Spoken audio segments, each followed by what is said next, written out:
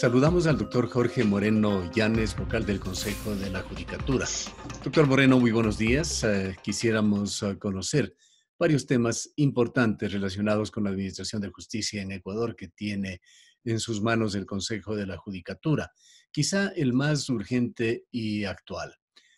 La justicia ecuatoriana ha solicitado por tercera ocasión la emisión de una boleta roja, es decir, una orden de detención internacional para el expresidente Rafael Correa, una vez que ha transcurrido mucho tiempo y muchos hechos se han dado, llegando al punto culminante de una sentencia en firme para el expresidente. Esto de alguna manera pone a prueba la solidez del prestigio de la justicia ecuatoriana ante la Organización Internacional de la Policía. En ocasiones anteriores se ha sugerido de que las decisiones que se venían tomando en uh, las dos instancias en las que se solicitó prisión internacional, boleta roja para el expresidente, tenían uh, situaciones de carácter político. Quisiéramos conocer su punto de vista sobre lo que se espera de la Interpol y cómo se mueven este tipo de situaciones.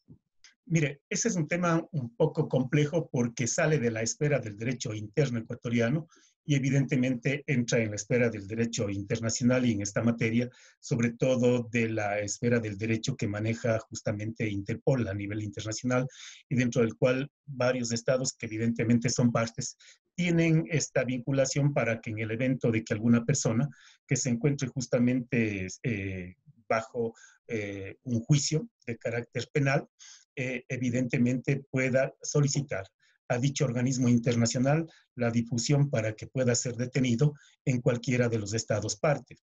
Sin embargo, también hay que reconocer de que en este organismo internacional los abogados de las partes pueden intervenir y bajo esa intervención alegar probablemente que los hechos más que jurídicos son políticos y allí esa decisión ya de carácter discrecional en gran medida le toca tomar a la, a la Interpol. Y claro, en, ese, en esa esfera hemos observado eh, probablemente que en el caso de lo que estamos analizando, los abogados justamente del expresidente se mueven muy bien a ese nivel internacional para, bajo estos argumentos, impedir que efectivamente se haga viable la difusión y el eh, la detención de dicho ciudadano. Aquí nos preguntamos si, si, se hablaría de injerencia política en el sistema judicial ecuatoriano, en la justicia ecuatoriana, o de injerencia política en el Interpol. En el caso ecuatoriano yo diría no hay ninguna injerencia política. Eh, la Administración de Justicia ha obrado con total independencia, tanto interna cuanto externa. En el caso, por ejemplo, del Consejo de la Judicatura, ninguna injerencia de ningún tipo sobre los jueces de Corte Nacional, sobre los jueces de Corte Provincial. Y en el caso de los demás poderes del Estado, de igual manera, ninguna injerencia externa de los mismos. Entonces, no podríamos hablar de que se ha vulnerado para nada la independencia judicial del Estado ecuatoriano. Sin embargo, son hechos que efectivamente tienen que analizarlo la Interpol, que es la que toma la decisión respecto de lo que pidan los Estados partes. ¿Qué cabe esperar en esto? Esperar la decisión de la Interpol y si efectivamente ellos eh, eh, eh, aceptan el pedido del Estado ecuatoriano, que se trata de una sentencia en firme, proceder, caso contrario, impugnar esa resolución pidiendo la, revisión de la misma al mismo órgano.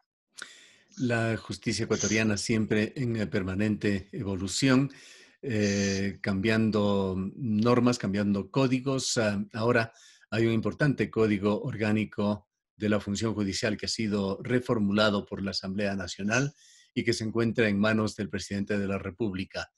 ¿Qué lectura tiene usted de este código? ¿Cuáles son los aspectos más importantes y qué es lo que se espera en el Consejo de la Judicatura en cuanto a la decisión presidencial? Bien, hay un aspecto que yo diría es muy importante dentro del tema referente al juzgamiento de las conductas de los administradores de justicia.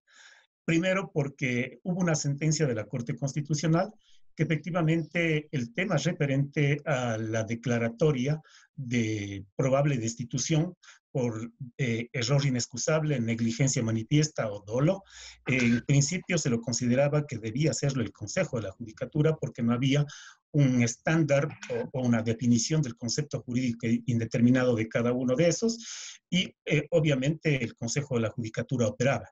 Yo personalmente siempre fui contrario a que el error inexcusable sea una decisión que deba tomarlo de manera directa el Consejo de la Judicatura, sino que yo sostenía de que debe existir una declaratoria judicial y no de cualquier juez, sino de un juez de alta corte, probablemente de Corte Nacional o de Corte Constitucional.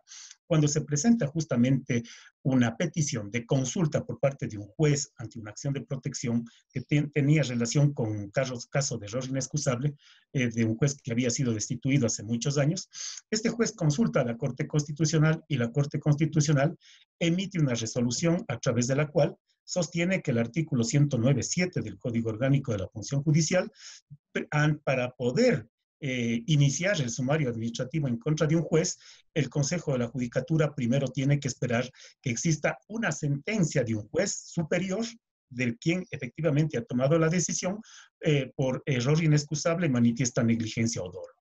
Eso tuvo algunos vacíos que solicitamos justamente la ampliación y aclaración que efectivamente se dio. Hemos reformado el reglamento y concomitantemente también, como esta sentencia exigía, no exigía, sino solicitaba, pedía, eh, hacía un exhorto al, legislativo para que lo revise, efectivamente en el código orgánico, en estas reformas, se incluye ya el procedimiento, se incluye también que efectivamente debe ser eh, declarado por un juez cualquiera de estas tres, de estos tres conceptos jurídicos indeterminados y solo cuando existe una sentencia de un juez, no necesariamente firme, una sentencia del juez superior, puede ser de, tribunal penal, puede ser de tribunal contencioso administrativo, tributario, de corte provincial, inmediatamente así esté eh, apelada esa resolución, tienen que remitirle al Consejo de la Judicatura para que juzgue esas tres, cualquiera de esas tres conductas. Y allí sí procedería probablemente una posible destitución debidamente motivada. Es un caso muy interesante que efectivamente ya está recogido en el Código Orgánico de la Función Judicial y si no existe veto del señor presidente de la República, tendremos que ya aplicarlo.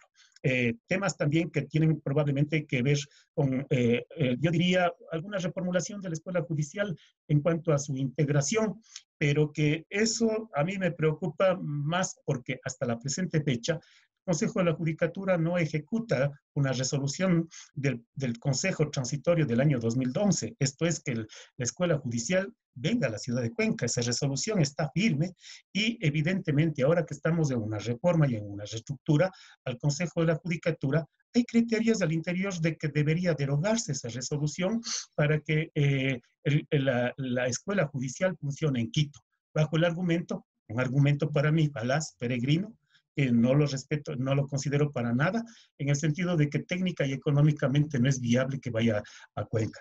Yo he, manifestado de que ese criterio carece de fundamento, carece de sustento, que no se puede hablar de, de una, eh, de una resolución inejecutable, no se puede hablar de un acto administrativo, porque no se trata de un acto administrativo, ni es inejecutable. Mejor lo que está operando en este momento es una ilegalidad de que funcione en Quito, porque la resolución dice que funciona en Cuenca. Y nosotros hemos preparado un proyecto de reforma al estatuto y hemos preparado un reglamento para que efectivamente la escuela judicial venga Cuenca, pero son los diferentes fiscalizadores los que no permiten esto. Hay ah, otro aspecto en el cual ah, se propone la creación de, jueces ah, o juzgados especializados en actos de corrupción político. ¿Cómo mira usted este aspecto? Mire, yo he sido partidario de que efectivamente deben existir jueces especializados, sobre todo para delitos muy específicos, como puede ser delitos de narcotráfico, delitos sobre bienes, sobre bienes nada lícitos, concusión, cohecho, peculado, enriquecimiento ilícito, donde efectivamente eh, debería funcionar tribunales especializados probablemente en la propia ciudad de, de Quito, que se pueda apelar allí, eh, obviamente también bajo las escalas correspondientes hacia los superiores en dicha ciudad. Eh, ni siquiera he sido partidario yo de que funcione como se pretendía en principio, uno en Quito, otro en Guayaquil, otro en Cuenca, sino definitivamente algo que concentre, porque es una, una situación muy compleja. Y cuando dejamos, por ejemplo, que existan, con todo el respeto que se merecen los jueces, pero la presión que existe sobre ellos, sobre todo en las áreas de frontera, les hace muy difícil tomar las decisiones, ya que no tienen todas las seguridades para efectivamente actuar. En el caso de Quito, teniendo toda una infraestructura para protegerles a los jueces, etcétera, la situación cambia y varía radicalmente. Yo sí comparto esa situación, porque no es igual que el juez, el juez penal probablemente de la zona de, de, Esmeraldas, de, pero ni siquiera de, la cabecera cantonal, sino del cantón que está eh, en, el límite con, Colombia, tome la decisión respecto de algún tema del narcotráfico, que lo tome justamente otro que, que tiene la protección de vida. Entonces, yo sí considero de que es viable, es pertinente aquello.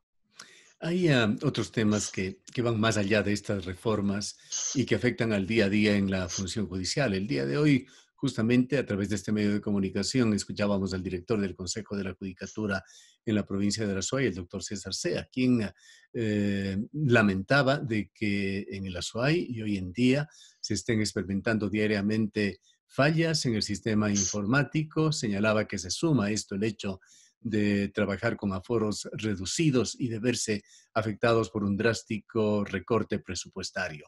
¿Hay eh, posibilidades de que esta situación mejore?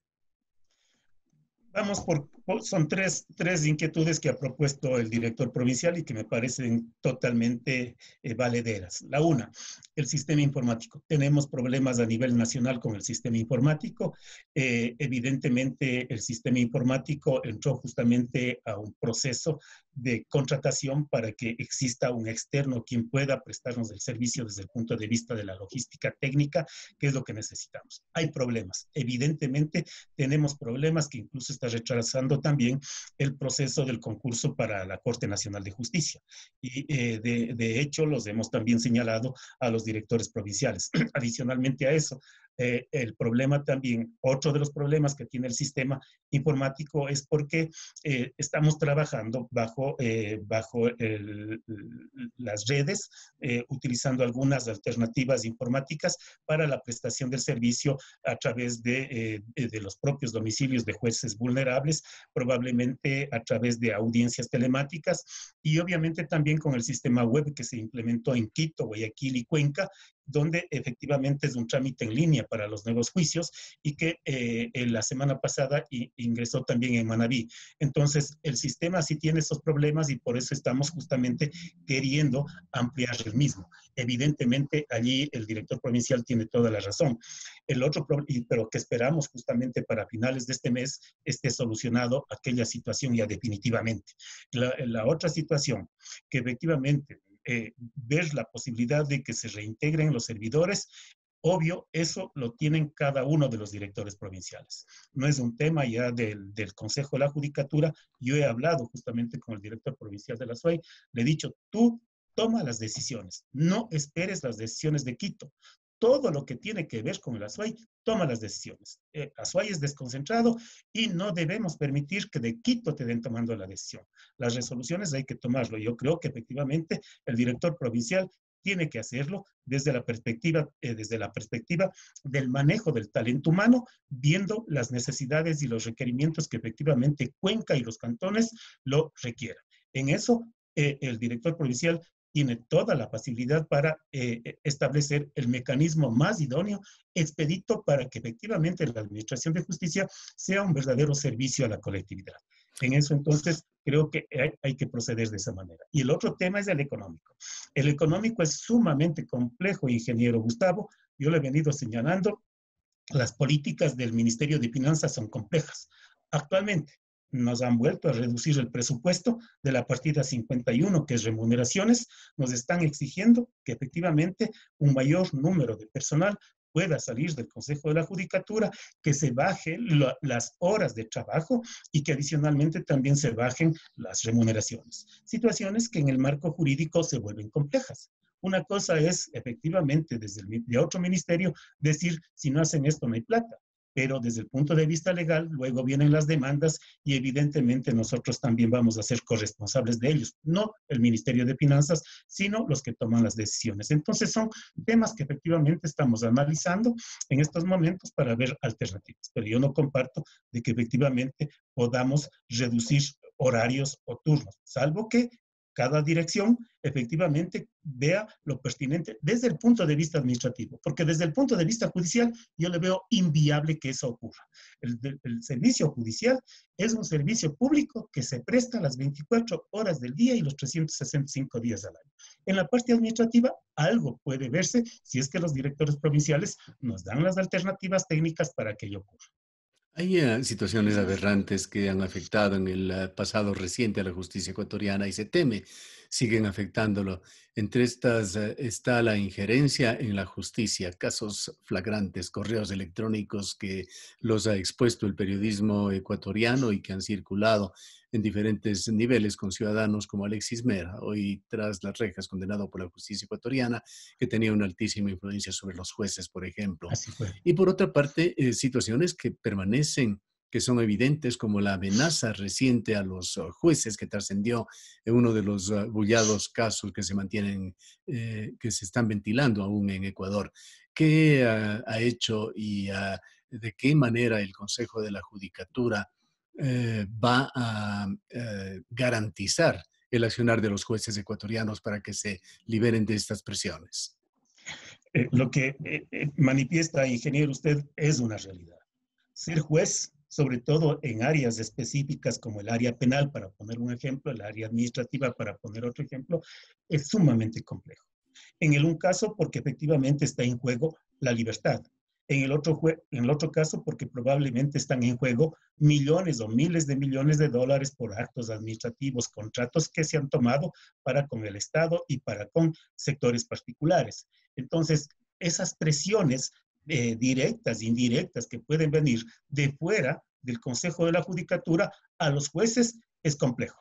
Por eso siempre he sostenido de que el juez no solamente que debe ser una persona inteligente, no solamente que debe ser una persona honesta y honrada, sino que efectivamente tenga un verdadero caparazón invisible que pueda, eh, pueda eh, de alguna manera solventar esas presiones internas y externas que tenga porque si eso no ocurre, evidentemente la situación sería compleja. Pero concomitantemente a lo otro, el Consejo de la Judicatura, la Fiscalía General del Estado, sobre todo en el área penal, tiene que prestar la debida protección a los jueces y juezas, sobre todo en el área penal, que es fundamental. Esa protección tiene que ser efectivamente con policías que las 24 horas del día eh, sobre todo en, el, en, en, las horas que prestan los servicios, estén conjuntamente con ellos, que tengan protección en la casa por estas situaciones. Esto ocurre, lamentablemente, ingeniero Gustavo, aquí o en cualquier país del mundo, pero eh, eh, en el caso ecuatoriano estamos observando de que efectivamente estas situaciones están presentándose en el día a día. Lo Eso nos lleva... Esto nos lleva, doctor Moreno, a otro tema que resulta importantísimo, que es el proceso de selección de jueces, de nombramiento de jueces, en el cual se encuentra envuelto el sistema judicial ecuatoriano. Hay también preocupaciones en este tema, se pide que se eh, observen los cronogramas ah, previstos y además que se corrijan ciertas fallas, incluso en los sistemas informáticos que podrían influir en esta situación. ¿Cómo se encuentra este proceso? ¿Para cuándo se tendrá ya humo blanco en este tema? Eh, esa es una situación que justamente lo, lo, acabé de señalar hace un momento en el tema informático. Tenemos inconvenientes en el tema informático y evidentemente esto de alguna manera eh, eh, suspendió el cronograma, el cronograma del, del concurso. Pregunta final, doctor Moreno. ¿Qué puede hacer el Consejo de la Judicatura? Que la Corte Nacional de Justicia y el sistema judicial ecuatoriano, ante los drásticos recortes presupuestarios y ante las crecientes necesidades más bien de mayor presupuesto para mejorar el accionar de la justicia ecuatoriana, el eh, país se encuentra en un proceso de reducción de tamaño del Estado que parece irreversible. Eh, ese fue un problema del populismo, eh, mi querido ingeniero Gustavo. Digo del populismo porque usted observará, por ejemplo, que en el tema de la educación y en el tema justamente de la administración de justicia se estableció de que sean servicios públicos gratuitos. Y allí tenemos el problema de las universidades que efectivamente no pueden salir, no pueden salir de la, de la situación. Yo siempre he sostenido de que debería pedirse una interpretación a la Corte Constitucional a quién debe ser gratuito el servicio, ¿no?